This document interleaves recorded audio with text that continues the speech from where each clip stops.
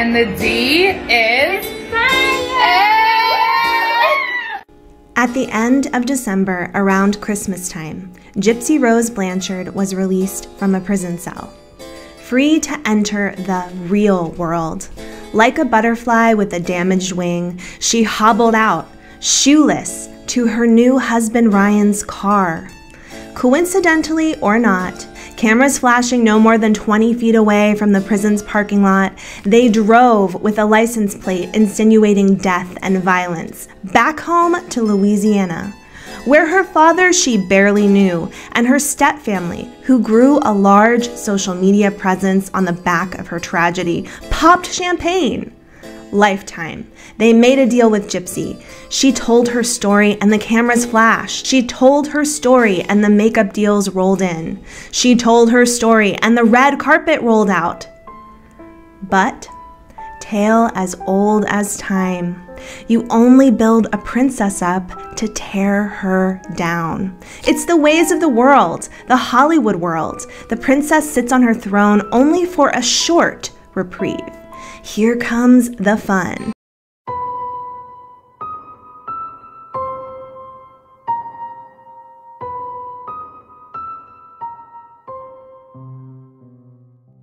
It's time for a new gang to enter the narrative and make it their own. The naysayers, the question askers, the ones who won't be silenced about the past. The old neighbors, the distant family members, seeking their own 15 minutes of fame. Gypsy was a slut. Gypsy is a liar. Gypsy is a gypsy. Did you know, don't you know, now's the time to egg the princess. Here we go, round and round, now's the time to knock her down.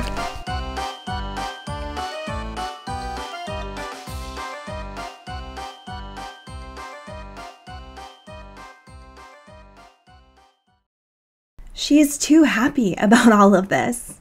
Her marriage is a sham. She doesn't even care what happens to Nick. This is the truth. Well, the social media truth. So it might as well be true because it's all we'll ever know. If we met stumbled upon Gypsy Rose Blanchard on a random street in a random town in real life, we might hate her more than we ever thought possible. Maybe we'd catch her kicking a dog, and that's the lowest of the low. Or maybe we'd catch her crying on a street corner when she lost her phone and can't find her way back to the corner where she was supposed to meet her husband Ryan.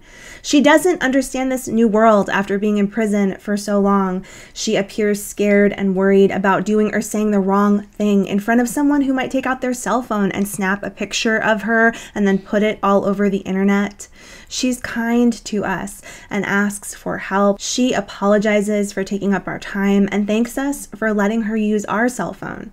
She's nicer and more normal than we ever imagined. Were we wrong about her? We can't know. We can't know someone's character from one tiny interaction or what we see on social media. But there is something I do know. I've spent the past 10 years plus working as a pediatric nurse, and a great deal of that time I was working with neurobehavioral developmentally affected children in acute care as well as long term facilities to include child sex offender facilities. I've learned so much from real life experiences with these traumatized kids. Children with trauma become adults who need grace. They often enter adulthood with their own mental health issues such as anxiety, depression, personality disorders, ADHD. The list goes on and on. Most will not go on to abuse their own children, but some will. Many will enact some of the trauma out on other people around them because that's how they've been taught to interact with the world. It's a journey, longer and more treacherous for some. It can include awful things like lying, manipulation, drug abuse, many failed relationships, anger, destruction. These kids need to implode and then build themselves back together. Sometimes they parent themselves, or hopefully they get support from others, but it takes a lot of time and requires learning a lot of new skills. That's probably where Gypsy is right now, learning a lot of new skills. A broken woman who needs to put herself back together as best as she can. Will she? Who knows? She refused therapy offered to her by the Dr. Phil show. She sped fast as lightning into her marriage. She's been all over social media and made enemies of old friends already. There's a lot to be suspicious of when it comes to Gypsy, not the least of which is what she's indicated about her crime and her former co defendant. There's the reality that remains at the front of my thoughts concerning this case. Nicholas Godejohn remains in prison. Dee Dee Blanchard is dead. Gypsy Rose is a free woman. And all seems to be settled in this true crime saga. Or does it? If you ask Nicholas Godejohn, justice was never served in this case, no matter how you slice it. Godejohn is currently serving a life sentence behind bars with no chance of parole plus 25 years. Now, it's understandable that his sentence would be more harsh than Gypsy's, since he was the one who stabbed Dee to death. But is life in prison for someone who slayed a monster and rescued a young lady really justice? Many, including Nicholas, think not. Godejohn has stuck by the claim since the beginning, and Gypsy has backed it up, that he was manipulated into killing Gypsy's mother by Gypsy herself, where he believed if he didn't step in and stop the abuse, Gypsy would have died. Godejohn had a parole hearing earlier this year, but was denied his request for a new trial. The man is now 34 years old and will most likely never see the outside of his prison facility in Missouri. In prior videos, we've spoken extensively about mitigating factors for Nick, which include but are not limited to his autism diagnosis a lack of support at home, isolation, and manipulation on the part of Gypsy. Still, Nick protects Gypsy in many of the statements he makes about her, but he also confirms her deep involvement in what happened to her mom. I was deeply involved with it. I mean, uh, just like it says in his police statements, uh, like I said right with while I was talking to them, there was latex gloves that be on the porch. She did say that right on the text is it, clear clear as day. I ended up finding them when I got there, and I let her know that I was at the door. She opened the door and she made sure I had the gloves on before she gave me the weapon, and she made sure that she wouldn't let me open the door. She made sure I had those gloves on before either of those doors opened. Nick needs help. He's desperate. His appeal is not looking good, though he remains hopeful. Unfortunately, he's looking at spending his entire life in a place that doesn't offer him adequate counseling, support, or safety. A place that doesn't understand or care about his extra needs as a person on the autism spectrum. He's watched as Gypsy left prison, got married, went home to her family, and was heralded as the princess of the hour. Nick's hurting and alone. When this has been mentioned to Gypsy, she's made rather discouraging statements. Well, I'm sure that we both have a lot of regrets. All I can really say is that I did my time. He's doing his time for his part. Um, and I wish him well on his journey. I love in the documentary you take you take responsibility. You talk about you know you you are doing the time that you were given, um, but he will spend the rest of his life in jail. How how do you feel about that? How do you kind of reconcile that? Um, you know, I know that we both probably have a lot of regrets. I know I have regrets. Um, I can't speak for him, so I really don't know his side of things. Um, all I know is, you know, I did my time. He's doing his time. Um, that's all the best that I could do at this point. Like for me, I have to focus on myself right now. I can't look in the past and worry about him or anything else going on. I have to prioritize myself in this moment. Here's where I need to say something. Many of you may be mad about this video. There's a movement happening to cancel Gypsy. Everyone hates her now. The ways of the Hollywood narrative are firmly implanted in her life. But I have an undeniable tendency to look at the side of the narrative that isn't currently popular. I was hating on Gypsy when she first got out, and now I'm looking on the other side of what's going on here. She's a murderer, that's undeniable, but she's also a victim in the worst kind of way, and no matter how much you hate her, that's also undeniable. Coming to the point of this video, Gypsy manipulated Nick. He only committed murder to please her, to save her, to help her. He suffers in prison, possibly forever, for her. He had no pony in this race. He didn't care about Dee Dee one way or another. He did talk to friends about not wanting to kill Dee Dee. But said in the end, Gypsy made up her mind and he had to go along with it. So, Gypsy is responsible for his current situation on a certain level. But is it her responsibility to save him from the bleak future we all see for him now? No, it's not. Gypsy Rose Blanchard has no further responsibility to Nicholas Godejohn. Let's take a look at it like this. Two lonely people named John and Mary are addicts. They live on the street together and do horrible things to feed their drug addiction lie, steal, prostitute, assault, and steal from friends and family, all while under the influence. Eventually, both John and Mary are arrested and they're sentenced to treatment. Mary has a strong, supportive, financially resilient family who visits and supports her throughout treatment. John has no one. Mary is successful in treatment and fully committed to getting out of prison. John is deeply depressed and unable to be successful at anything. In his treatment, he fights and tells everyone he doesn't regret his past crimes. Eventually, Mary is released and goes home to fight a new battle, trying to reintegrate into society.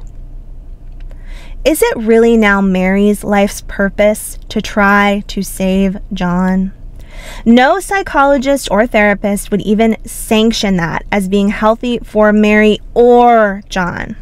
Let's say both John and Mary had horribly abusive childhoods. That's how they initially bonded with one another. Mary is the one who first introduced John to drugs. But does that mean he has no personal responsibility? Can any of us really say in this scenario that Mary needs to devote her newfound freedom to helping John? Now, what if we find out John has autism? For me, it still doesn't change the fact that Mary's life is her own. She needs to focus on her own sobriety, freedom, and mental health. She cannot save John. She doesn't have the skills. She doesn't have the emotional capacity. She doesn't have the knowledge or capacity to help John. So, who does? Gypsy and Nick are both victims of communities and laws that do not serve their very special circumstances and needs. They were both abused or neglected. They both required some kind of intervention from outside sources, and they didn't get it. Once the murderous act was complete, they needed a justice system that took into account their own personal histories to include all the special needs they were presenting with. They needed exhaustive therapy and reconditioning to better understand social norms and develop real life coping skills. They could have also faced punishment and consequences while still getting this much needed help. They could have been housed with people who had some of the same issues and not with hardened felons who might use, manipulate, and mistreat them. Their sentences should and could have been based on these intensely mitigating factors. They needed mercy in the face of serving real time, but also being given the chance to get better. So, this is where I make my case and a special plea. This video is really about how it isn't up to Gypsy to change the course of Nicholas Godejohn's life. It's up to people like you and me. It's up to me to stand up and make a difference in my own community. It's up to you to work on yours. We are the communities who failed these kids. We are the people who support the legal systems, who do such a terrible job reforming and punishing people for their crimes. We are the ones who need to demand the change we want to see. How do we help? Nick is asking for people to sign an online petition. I'll have it linked below. But it's my own personal experience that petitions don't do an awful lot. One thing we can do for a start is to tune in to a new YouTube channel started by Nicholas Godejohn supporters and family on March 1st. On March 1st, Nick is supposed to make some statements for the first time in years via this channel. It's our chance to hear what he has to say, to judge further with our own intuition how he's doing, where he is right now in his own mental health, and how we can potentially help him in the most safe and sound way. I will be tuning in and live streaming afterwards to chat with all of you about what Nick has to say.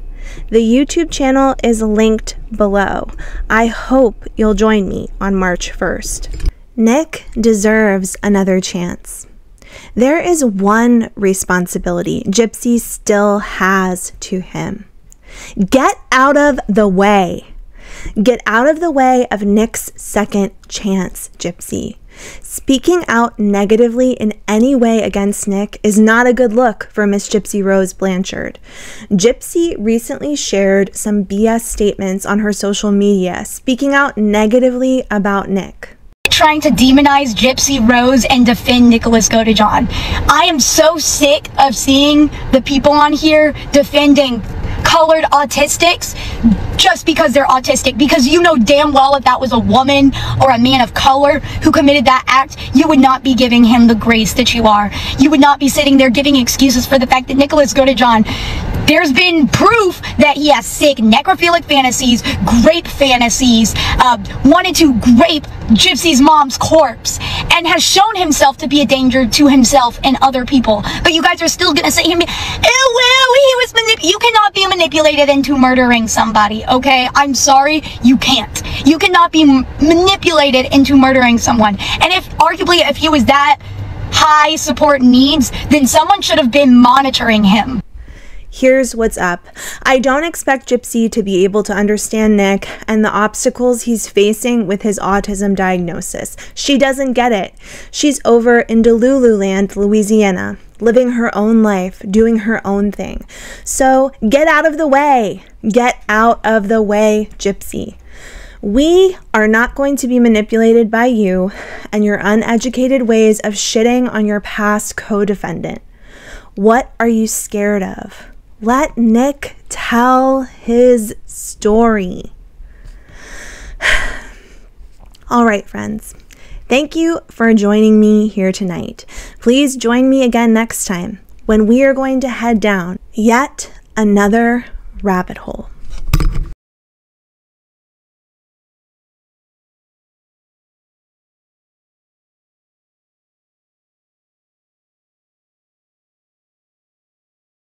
Welcome to the Mothership Explorers. We are talking about Nick Godejohn today and what his life was like before he met Gypsy, what his life is like now, what his life would be like if he was out of prison. I don't think that's ever going to happen. He's always going to be in a controlled situation, but his life could be significantly different if he were in a mental health facility as opposed to prison. For sure. And um, I'm Katie here from Down the Rabbit Hole at Bedtime. Of course, I'm extremely interested in talking about this subject. I've been covering it on my channel as well. And I have a long history of doing research on autism in prison. In my own personal opinion, our prison system requires in depth reform. And someone like Nicholas Godejohn is one of the reasons why reform is so required. So, of course, um, when this case first came to light in the public, one of the most interesting issues up for debate was the fact that Nicholas Godejohn is diagnosed as being on the autism spectrum. He allegedly and it was found to be true in a court of law, committed the actual murder of Dee Dee Blanchard. But many of us are questioning like what his capacity was, what he understood about what he was doing, and could he have been manipulated into performing this act? What are your thoughts on that, Katie? Do you think he could be manipulated into this? This may not be the most popular perspective, but from my point of view, I definitely believe that Nick deserved some kind of understanding from the court about his developmental disability. For me, this whole situation is like a huge nightmare for a family, for a mother of a child with autism.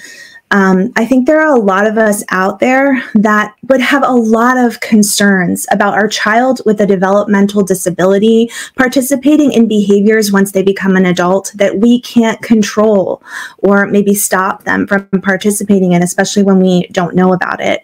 Um, so I know that there's a large group of people out there that are very inclined to want support and help for Nick, and I am definitely one of those people my hope is that this podcast can be, if nothing else, a cautionary tale for parents who have adult children with autism.